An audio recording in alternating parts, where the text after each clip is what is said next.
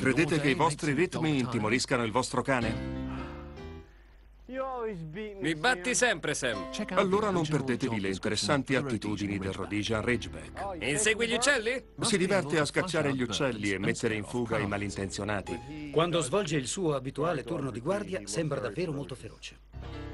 Sopporta cambiamenti climatici estremi, dal caldo torrido fino al freddo più intenso, e resiste per più di 24 ore senza bere.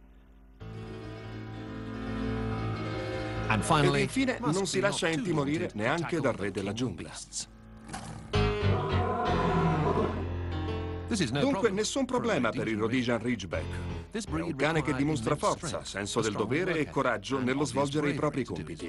Caratteristiche lodevoli, ma che non costituiscono l'emblema di questa razza dello Zimbabwe, che è invece rappresentato dall'ispida cresta di pelo che si estende lungo l'intero dorso. Il pelo sul dorso cresce in direzione opposta al resto del mantello, formando come delle virgole che danno alla cresta il caratteristico effetto verso l'alto. La cresta si sviluppa dalle spalle fino all'osso iliaco, all'altezza delle anche. Si formano delle piccole virgole che hanno una forma simile ad un ferro di cavallo. Queste spirali sono all'inizio della cresta. Vieni qua, bello, vieni qua. Siediti. Giù. Questi nobili cani sono alcuni dei più straordinari atleti africani, ma Bascia e Cosa possono competere con il loro leggendario padrone? Diamo un'occhiata. Andiamo, cosa? Sia l'ex campione dei Pittsburgh Steelers, Lynn Swan, che i suoi cani amano stare all'aria aperta. Oh, oh, c'è qualcosa che si muove. Ed entrambi sanno come raggiungere il bersaglio. Quando decidono che c'è qualcosa che vogliono, trovano il modo per ottenerlo e sono anche piuttosto furbi. Ed hanno persino una strategia migliore dei più famosi ricevitori. Prendilo, Bascia, prendilo. Magari stanno correndo in una direzione e poi tutto a un tratto cambiano rotta. Quando corrono fanno come un piccolo rimbalzo dopo ogni passo e sembrano sempre allerta, pronti a rispondere ad ogni richiamo. Se i Ridgebacks fossero i migliori ricevitori, da chi sarebbe formato il resto della squadra? Allora, vediamo un po'. Quale cane potrebbe fare il quarterback? Eh, forse potrebbe essere un collie. Invece, come mediano corridore difensivo, metterei un cane lupo, mentre un paio di grossi cani, come il San Bernardo, potrebbero stare oltre la linea. Poi metterei dei Rottweiler come difensori, bloccatori difensivi e come difensori di linea. Infine lascerei Doberman come marcatori e placcatori. E in panchina? Oh mio Dio, quale tipo di cane potrebbe essere un allenatore? Eh, forse Mike Dicta potrebbe essere un Mastiff. un tempo avrebbe potuto essere un Rottweiler, mentre oggi sarebbe un Mastiff. Lynn Swan, con i suoi quattro trofei del Super Bowl e un premio speciale come miglior giocatore, è una leggenda nella storia dei Pittsburgh Steelers. Ma per Lynn, i veri campioni sono Cosa e Bascia. Che state facendo? Vi mettete comodi, eh? A volte succede che di mattina presto o a tarda sera mi metto a pedalare sulla ciclette e poi scendo a guardare la tv o dei programmi. E loro sono contenti. Infatti solitamente non gli parlo quando sto facendo ginnastica. I Ridgebacks sono cani dotati di buon cuore e con la giusta motivazione possono correre anche per 30 miglia. Pensando di farli esercitare un po' durante l'inverno, ho provato a farli camminare sul tapirulan, ma non gli è piaciuto, anzi lo detestano. Preferiscono stare sdraiati in prima fila. Sono più intelligenti di noi. A noi non importa di pedalare e rimanere fermi. Loro, se corrono, vogliono fare strada. Lynn ha coperto migliaia di metri durante i suoi nove anni di carriera, ma ora ha perso colpi. Questo è suo figlio Schaffer. Chi è che corre più veloce, papà o cosa? I cani di Lynn sono fedeli alla storia della loro razza sia per quanto riguarda l'abilità che per il nome. Il nome Cosa proviene da una tribù nell'Africa meridionale, la vecchia Rhodesia. E il nome Bascia è il nome di un fiume che scorreva attraverso questo stesso territorio. Gli abbiamo dato nomi storici importanti nella loro tradizione. Nel 1924 fu fissato uno standard per le razze canine indigene e ribattezzarono questi figli dell'Africa col nome di Rhodesian Ridgeback. Ma i predecessori dei Rhodesian vagabondavano per le praterie molto prima del 1920. Quel che so riguardo agli antenati più antichi è che discendevano dai cani degli Ottentotti. Gli Ottentotti erano una popolazione nomade che si serviva di un cane simile allo sciacallo per cacciare e così questi cani diventarono ambiti. Molti uomini della tribù a cui appartenevano gli avi di cosa erano esploratori e cacciatori. Alcuni di questi cani cominciarono con lo sviluppare una sorta di cresta o di striscia lungo il dorso e gli uomini notarono che questi esemplari sembravano avere un'agilità maggiore rispetto agli altri cani. Fu allora che decisero di allevarli al posto di altre razze. Nel XVII secolo i colonizzatori europei in Sudafrica allevarono i Ridgeback insieme a magnifici danesi, mastini, levrieri inglesi o persiani. Un noto cacciatore dell'epoca, Cornelius Van Royen, selezionò l'allevamento della razza che tutti noi oggi conosciamo come Rhodesian Ridgeback. Volete uscire? Nonostante la loro natura avventurosa, i Rhodesian sono dotati di un temperamento pacato quando si trovano in casa. È solo quando si recano all'esterno che danno libero sfogo alla loro vera natura. Quando escono fuori si riappropriano dei propri spazi. Sono molto indipendenti e quando decidono di muoversi semplicemente lo fanno. Spesso vanno su per le colline e talvolta arrivano anche sulla strada. Un giorno nostro figlio ha aperto la porta e Cosa è scappato all'inseguimento di un gatto. Non è più tornato. Allora ci hanno chiamato da una lega di protezione animali e ci hanno detto che qualcuno aveva trovato questo cane munito di targhetta e collare, abbandonato sul ciglio della strada e glielo aveva portato. Siamo andati a riprenderlo e siamo estremamente riconoscenti alla persona che lo ha riportato, anche se non ne conosciamo il nome perché non ce l'hanno detto. Forse non vuole che si sappia, però vorrei dirgli che io e la mia famiglia lo ringraziamo moltissimo. Vieni qui! A ogni Ridgeback piace infrangere un po' le regole del gioco, ma quando l'azione si spegne non vedono l'ora di finire e stare un po' in famiglia. Pensate che un cane sia impaziente di accogliere il padrone quando torna a casa? Dov'è il tuo papà? Immaginatevelo moltiplicato per sette. Ciao! È una razza che allo stesso tempo ama cacciare e passeggiare. Bravo, Cookie. E persone come Dave e Jean fanno parte del branco. Andate, fate una bella corsa. Questo atteggiamento del branco dà luogo ad un allegro e festoso ululato. Nonostante i Ridgebacks siano abituati a climi torridi, non hanno problemi ad adattarsi. Il loro pelo diventa più fitto con l'arrivo del freddo. Vieni, tesoro. La loro giornata consiste in due ore di corse selvagge e 22 ore di riposo e tranquillità. Mi piace avere un cane con cui poter andare a fare una passeggiata e che al ritorno crolla stanco sul divano. Puoi trovarli ovunque ci sia qualcosa di morbido su cui appoggiarsi, specialmente al sole. È quello che preferiscono.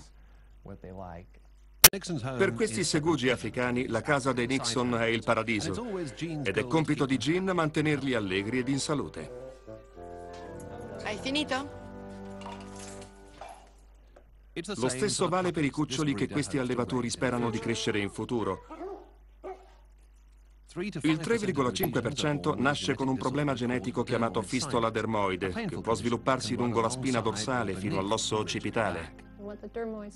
La fistola dermoide è una cisti.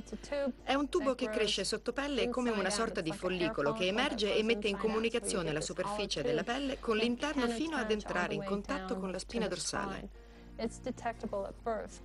Un allevatore di Rhodesian può individuare questa cisti sottoponendo il nuovo nato ad un semplice test. Si afferra un lembo di pelle e tirando con delicatezza si fa scorrere la mano lungo tutta la schiena, fino alla base della spina dorsale, cercando qualcosa di anomalo. Nel 90% dei casi le cisti dermoidi crescono proprio lungo la spina dorsale. La cisti mette in comunicazione l'ambiente esterno non sterilizzato con la parte interna del cane, causando infezioni non visibili a occhio nudo. Può essere asportata chirurgicamente se la spina dorsale non è già stata intaccata. Vieni. Dopo diventa difficile ed anche pericoloso cercare di rimuoverla. Le piace accompagnarmi in farmacia? Fortunatamente esiste una terapia sperimentale per la prevenzione delle fistole dermoidi. Vieni qui. Ho molti ricettari da cui attingere ogni volta che devo preparare un composto. Jean è una farmacologa, per cui prepara lei stessa i medicamenti.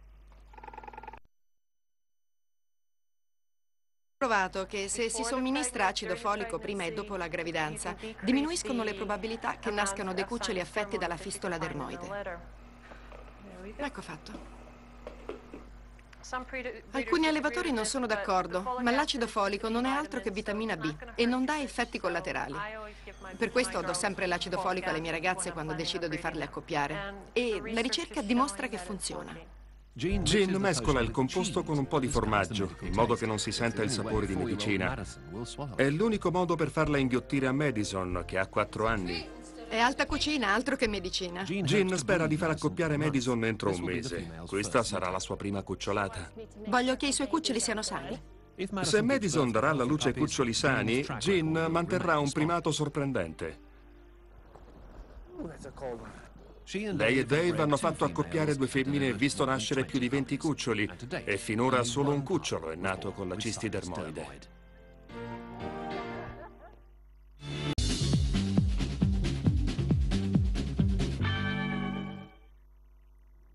Andiamo, forza! Quando Steve Stein ha deciso che voleva un cane... Sei pronto? Dai, salta! Ne ha cercato uno a cui piacesse stare all'aperto almeno quanto piace a lui. Volevo assolutamente un cane da potermi portare dietro in ogni avventura. Sebbene non sia un safari, le uscite in bicicletta rinvigoriscono sia il ciclista che il cane. Va bene, amico, andiamo. Ok, sei pronto a scalare? Ah, cosa fai? Un Ridgeback può percorrere fino a 30 miglia a fianco di un cacciatore a cavallo.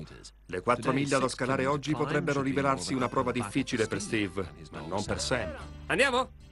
Neanche nel mio periodo migliore sono mai stato così in forma come lo è questo cane. Senza dubbio gli devo molto.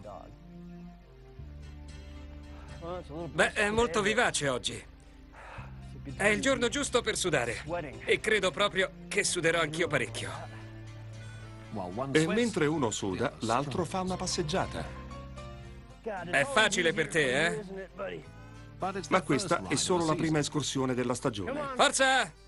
I Ridgeback sono molto in gamba e possono fare molte cose. Vieni qui! Si adattano ad ogni terreno e senza bisogno del casco. L'estate scorsa abbiamo fatto un'escursione di 28 miglia di mountain bike. Ehi, Sam! Vieni, Sam! Oh, già sei stanco. Alla fine della giornata tutti e due siamo distrutti. I Ridgeback rimangono costantemente allerta, mantenendo la posizione anche dopo ore di esercizi. Siamo quasi arrivati, andiamo Sam! Quasi arrivati! E nonostante l'altitudine... Sì!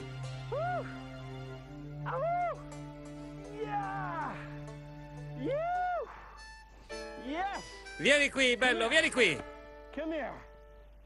Bravo il mio ragazzo! Sono noti per la loro capacità nel coprire grandi distanze.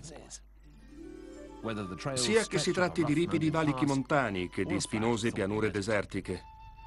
Annicchiati vicino alla Rincon Valley in Arizona, quest'area è il luogo ideale per una coppia di Rhodesian Ridgeback. Questa è Daisy, una femmina di due anni e mezzo. Il maschio grande si chiama Jumbo e ha circa tre anni e mezzo. Jumbo e Daisy fanno una bella vita, circondati da praterie simili a quelle della terra natia. Di loro si prende cura un medico di fama mondiale, il dottor Andrew Weil. Pratico la medicina naturale e la prevenzione sanitaria, ma insegno medicina integrativa all'Università dell'Arizona. E credo che sia la medicina del futuro. Non vuole rinnegare quella tradizionale, ma fa conoscere delle alternative. Il dottor Weil è un medico per gli esseri umani, ma il suo lavoro può essere utile anche per quanto riguarda i Rhodesian. In questo paese c'è un energico movimento della cosiddetta olistica veterinaria, che è promosso da veterinari che adoperano l'agopuntura, specialmente con i cavalli, ma anche con i cani. E ho potuto osservare una risposta veramente positiva a questo tipo di terapie da parte degli animali. Andiamo? Tra le raccomandazioni fatte per garantire una buona salute hanno un ruolo fondamentale gli esercizi quotidiani. I Rhodesian Ridgebacks hanno bisogno di esprimere la loro energia, altrimenti le loro menti così attive cercherebbero soluzioni diverse per stancarsi. Questi cani adorano sia stare in branco che con i loro padroni. È una passeggiata per vedere il comportamento che hanno. Erano abituati a cacciare in branco. Qualche volta mi è successo di trovarmi presso un branco di Ridgeback ed è stato interessante vedere come si comportavano. Uno di loro ha cominciato a tirarmi i lacci delle scarpe, mentre un altro cercava di mordicchiarmi i talloni e un altro ancora mi spingeva su un fianco.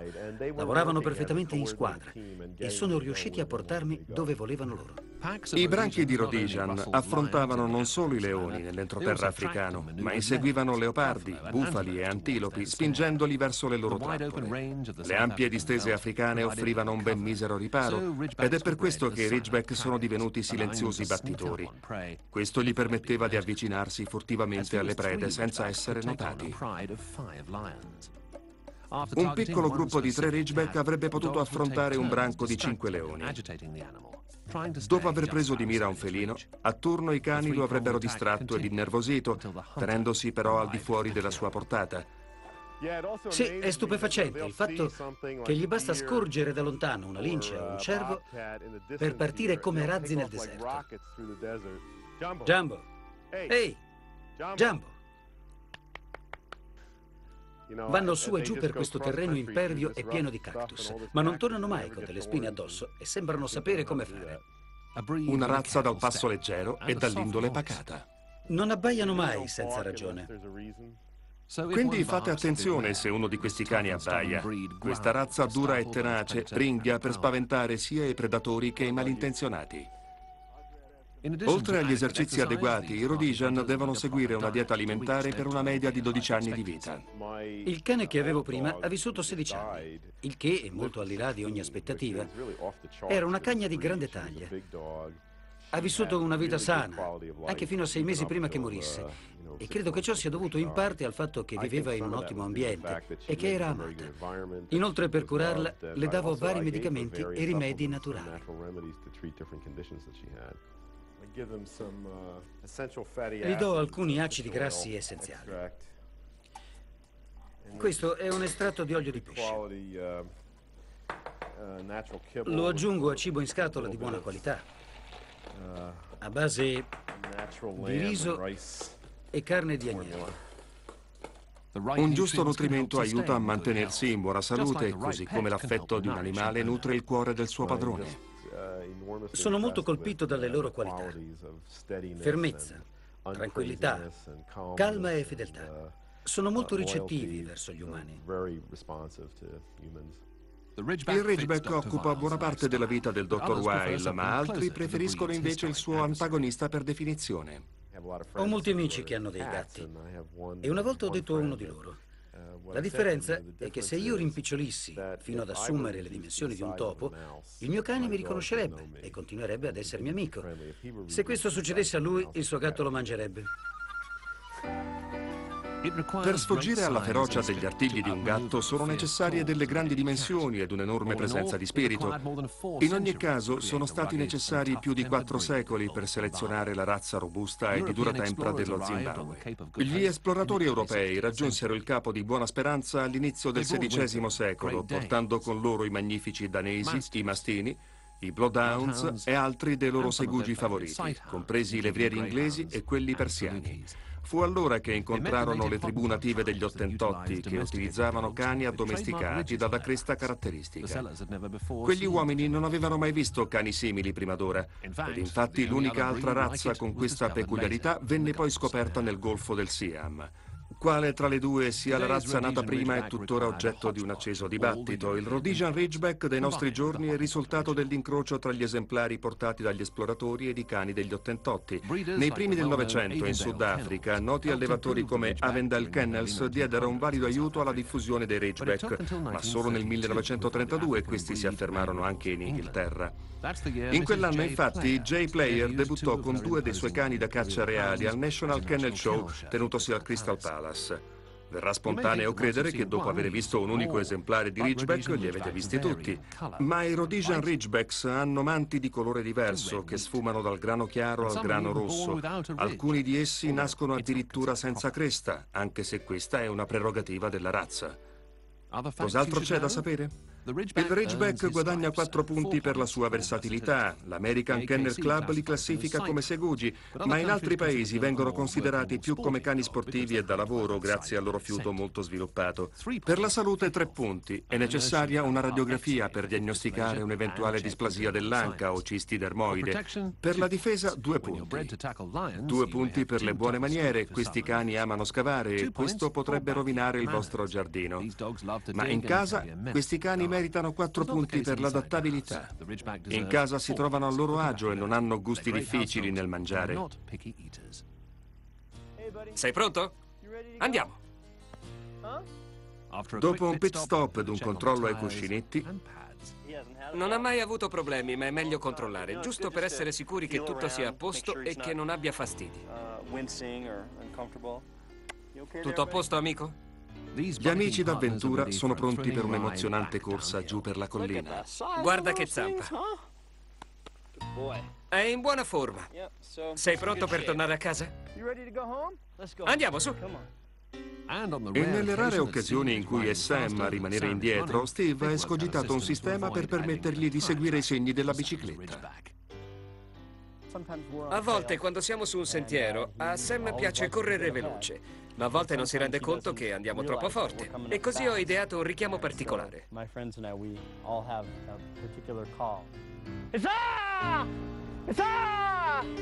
È una vecchia espressione cosacca, una sorta di pronti? Via! La possente struttura dei Rhodesian Ridgeback, l'indole impavida, fanno di questi cani una razza totalmente a sé.